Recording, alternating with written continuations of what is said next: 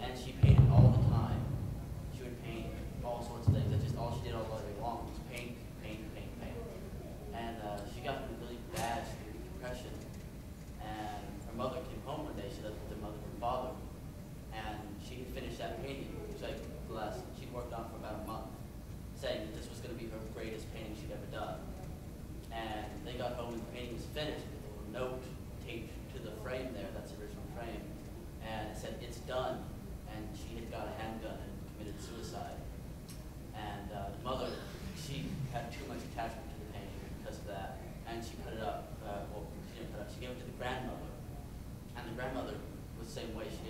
Like having it brown because of what it made her think of. So she put it in the attic. Uh, years and years later, this was about almost 2000, uh, they had an attic leak and they had to get rid of all the stuff in the attic. And they were, they lived near me and she said, I know that you like things with odd stories and collect things that are unusual. And I can't throw it away and I know no one else I can give it to you. Will you take this from me? And I said, of course, and I took it and it's been hanging in my home ever since. And how did you feel when you like you first saw it? You take it. Like, did it did it have? Uh, It's an unusual feeling because it, on one hand, it's a gorgeous painting. I absolutely love the painting itself. But Maybe then somebody, the maybe story, our old ups in the audience can see it. then you know the story itself is so sad and imagining how that woman felt while she was doing it. And I've seen pictures of her, and it, it's her face. yeah. It's a self-portrait.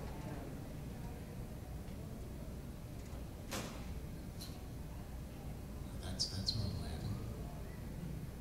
Um,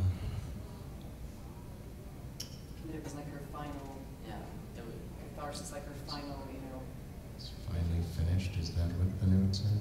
yeah, yeah. It, she needed to it's, do it's done. It's done. When, when did this, nineteen eighty-four? Yeah, she signed it right there at the bottom. It's got her name and the uh, date.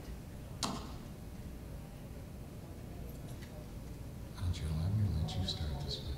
And where does it, and, and where does it hang in your house? Uh, in my living room, I have a, a little art section where I hang paintings, and I keep it right there in the center. And so when you first hung it up in your living room and then you began to walk through the living room, did the living room feel different to you? Did it? It, it does. I, I've, I've had to move a couple of times, and when it's not there, you you can tell it's not there because you feel like the, almost there's not a presence there.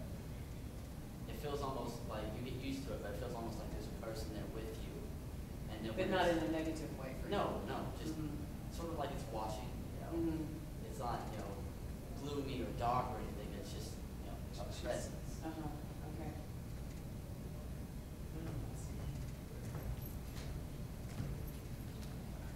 That's one of the more interesting stories. When we do the seance, it's really amazing what people bring in. Like, you know, you just, you never know, and that's what drives the show, and the show is so different every night.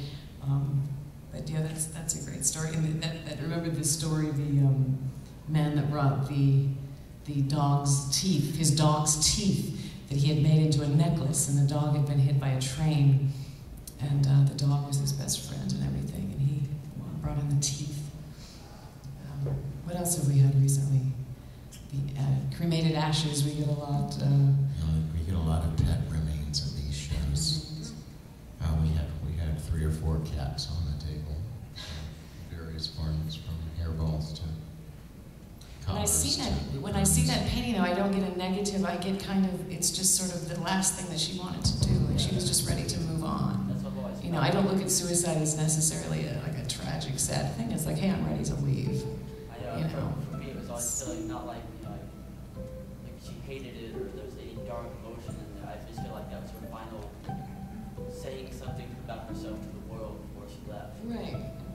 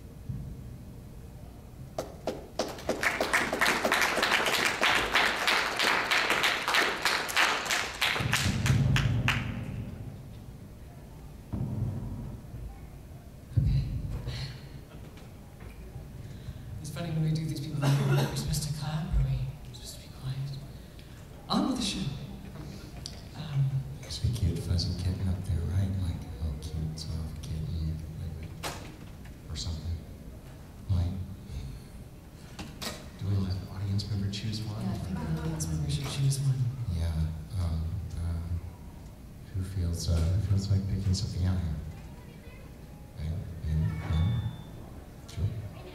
Yes, I don't know. How about, I, I can't really see the audience. How about the man in blue that's holding like a long stick or something? I can't really see what it is. Come on up, young man. It's a walking, is it, is it really a walking stick or is it? Uh, It's a multi-purpose device. It looks like Did it's you got really some mad at caution somebody, tape on the end, yeah. Uh, More if they try to mess with me. Okay. Uh, That's pretty much my time trying to ignore the world. You've come to the right place. Pick something that amuses me or what? Yeah, whatever you Yeah. like. That you find Feel interesting. interesting. Thanks for, thanks for coming.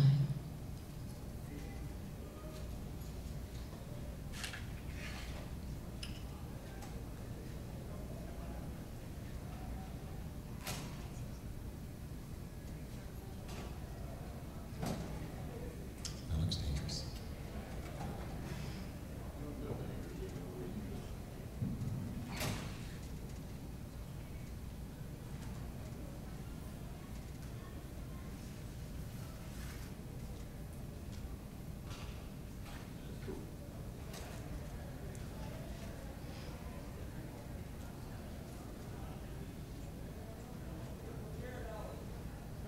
I'd say this one is pretty novel. Okay. And who was the proud owner of that? Uh, How can I guess? Come on